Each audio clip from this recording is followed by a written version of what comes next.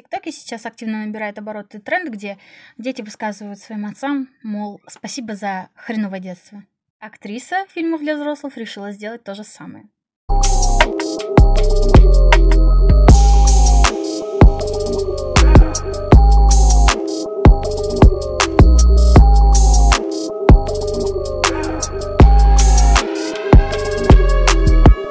Принципе, все понимаю.